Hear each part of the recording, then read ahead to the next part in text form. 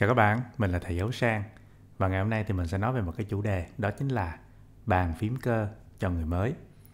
Thì nếu các bạn đang bắt đầu tìm hiểu cái bộ môn này thì mình nghĩ là các bạn đã tìm hiểu, đã search rất là nhiều ở trên mạng và có thể là các bạn đã đọc qua những cái phím của những cái thương hiệu nổi tiếng như là Leopold, rồi Filco và Keytron. Thì hôm nay mình muốn giới thiệu cho các bạn một cái con phím nó đây đây là bàn phím cơ NJ68 đến từ thương hiệu Kidos, một cái nhà sản xuất phím cơ Trung Quốc. Mình đã từng sở hữu hai con NJ68 đời đầu, à, cách đây cũng khá lâu rồi. Và đây là cái phiên bản nâng cấp mới nhất, nó gọi là NJ68 AP. Thì cái con à, NJ68 này nó có cái gì hay, cái gì đặc biệt, chúng ta sẽ tìm hiểu ngay sau đây.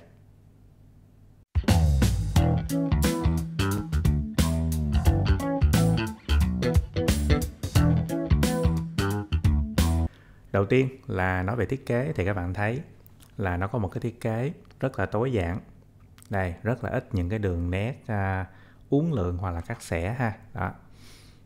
Và mình rất là thích cái kiểu thiết kế này. Đó các bạn thấy bên dưới là nó không có những cái khe rãnh đi dây gì hết. Đó. À, liền lạc hết ha. Thì cái kiểu thiết kế này nó giống như trên con Leopold 660M vậy. Và nó mang cái hơi hướng à, đơn giản và cổ điển. Và cái kiểu thiết kế này nó sẽ rất là khó bị lỗi thời. Um, về mặt hoàn thiện thì ở đây mình có một cái phiên bản là cái vỏ cây bằng nhựa màu trắng. À, nó có cái hoàn thiện các bạn thấy là à, mình đánh giá là nó rất là cứng cáp. Và cái trọng lượng của nó đó thì nó đâu đó sấp xỉ à, gần một ký thôi chưa tới đâu. Và chúng ta có thể rất là dễ dàng bỏ nó vào trong ba lô. Đó và mang đi. Về kết nối á, thì nó cung cấp cho chúng ta ba tùy chọn. À, đầu tiên là các bạn có thể dùng cái phần dây đi kèm. Rồi à, nó sẽ là cái kết nối tai C ha. Và chúng ta có thể là gắn nó vào trong cái lỗ tai C nằm ở đây. Để à, và kết nối vào trong máy tính thôi rất là đơn giản. À, hoặc chúng ta có thể sử dụng Bluetooth. À, chúng ta mở chúng ta có thể mở cái nút uh, on off cái này lên nè. Đó.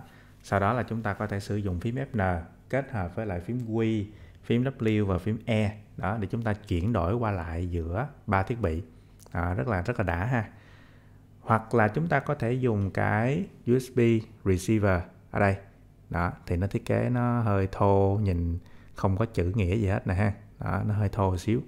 Và các bạn bấm Fn đi với lại chữ R thì chúng ta sẽ chuyển sang cái chế độ dùng với lại receiver à, 2.4 à, GHz qua cái trải nghiệm của mình thì mình thấy đây là một nâng cấp rất lớn của phiên bản AP so với lại cái NJ68 đời đầu.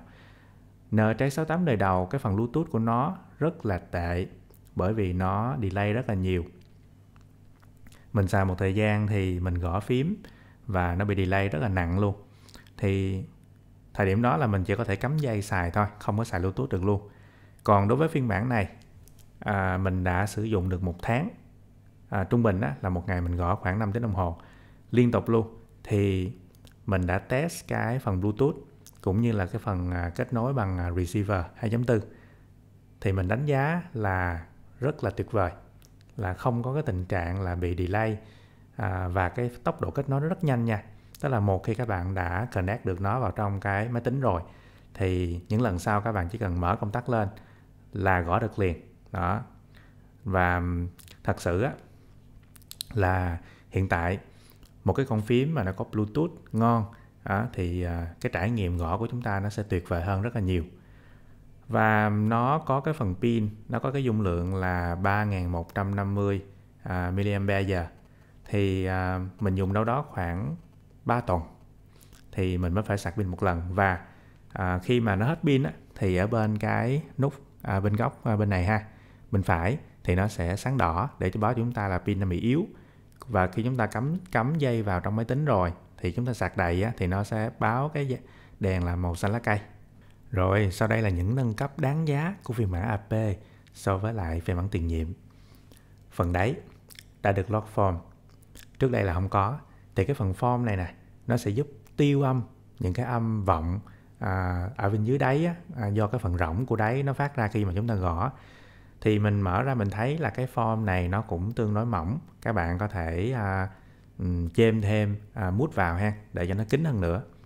Thứ hai đó là phần stab stabilizer những cái thanh cân bằng của những cái phím như là phím space nè phím enter rồi phím backspace.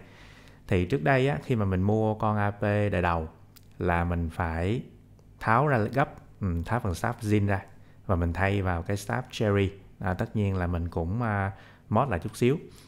Thì khi mà mình nhận con AP à, NG68 này mình nghĩ là cái phần staff nó cũng dở như vậy thôi. Nó cũng không có gì thay đổi. Đó chắc là cũng sẽ phải tháo ra và thay staff cherry vào. Tuy nhiên tuy nhiên mình rất bất ngờ. À thì nhà sản xuất khi đó đã nâng cấp cái phần staff này lên. Họ loop à tức là à, bôi mỡ ha từ trong nhà máy. Và mình có thể nói với các bạn á, là các bạn mua về và các bạn xài ngon luôn. À chúng ta nếu mà các bạn nào kỹ lắm á thì các bạn vẫn có thể tháo ra các bạn thay sáp cherry nhưng mà với mình à thì mình thấy là như vậy là đã rất là ok rồi. Đây mình sẽ cho các bạn nghe thử ha âm thanh của phần space tất nhiên nó vẫn sẽ có cái tiếng tích tại vì cái stab zin thì nó không có được holy. À. đó enter nè. Backspace nè. Đó và khi mà mình gõ thì mình cảm nhận là nó rất là ngon các bạn. Rất là ngon luôn. Đó ngon từ trong à, nhà máy ngon ra luôn. Rồi thì con phím này nó có hỗ trợ hot swap tức là các bạn có thể à, sử dụng một cái dụng cụ một cái một cái kẹp à, tháo switch chuyên dụng. Các bạn kẹp vô các bạn có thể gấp cái con switch ra. Đó và các bạn gắn một cái con switch khác vào. Không có cần phải rã hàng như là những cái bàn phím khác thì nếu các bạn là người mới mình nghĩ các bạn nên mua phím có swap để có thể trải nghiệm rất rất là nhiều switch đang có trên thị trường. À, và chúng ta có thể là tìm ra được một cái switch mà chúng ta yêu thích nhất. Đó. Ok và khi mà các bạn mua à, NG68AP á, thì nó sẽ có cái dạng là mua theo kích và mua full. Nếu mà các bạn mua theo kích giống mình á, thì nó sẽ có giá là khoảng 2 triệu. À, cho đến 2 triệu 1 2 triệu 2 tùy theo cái phiên bản Blade à, ở đây mình có phiên bản là black đồng ha. Thì nó sẽ không có switch nó cũng không có keycap. À, do là ở nhà mình có sẵn ha. Đó mình mua về và mình chỉ gắn vào thôi. À, tiết kiệm. Còn nếu mà các bạn chưa có gì hết thì các bạn có thể mua một con phím full. Thì nó sẽ có switch và nó sẽ có keycap luôn. Thì switch thì các bạn nó sẽ cho các bạn lựa chọn giữa những cái phiên bản của Calibox à, brown, red hoặc là white. Thì các bạn có thể lựa chọn tùy theo cái nhu cầu cũng như là cái sở thích của bản thân và nếu mà các bạn là người vào gõ văn bản nhiều thì các bạn cứ chọn à, Calibox Brown.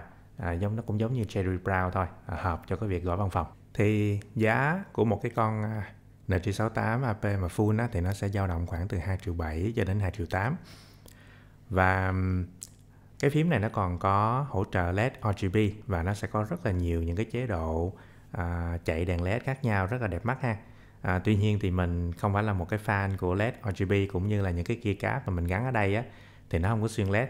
Do vậy là cái phần LED RGB thì mình sẽ để các bạn tự khám phá ha. À, về mặt custom á, thì cái con phím này nó được sinh ra là để custom. Tức là các bạn hoàn toàn các bạn có thể um, mod lại hết toàn bộ các thứ toàn bộ mọi thứ. Bao gồm có là lót thêm form rồi lót PE rồi à, làm lại switch rồi làm lại uh, stab stabilizer vân vân đó để chúng ta có thể là tạo ra một cái con phím theo ý mình. Thì mình đã từng có một cái bài viết mình à, custom cái con NG68 đời đầu các bạn có thể theo dõi lại trên tinh tế ha mình có kẹp lên đó trong bài. À, còn đối với con con phím này á thì mình đem về và hầu như là mình không có làm cái gì cả. Mình chỉ có lót thêm một cái miếng à, PE à, ở bên dưới phần plate ha để à, cái phần âm thanh á là nó à, nổi bật hơn chút xíu thôi. Thì NG68AP á nó vẫn còn những cái vấn đề à, giống như ở phiên bản trước đó chính là cái mạch của switch đó, nó vẫn là mạch ngược ha.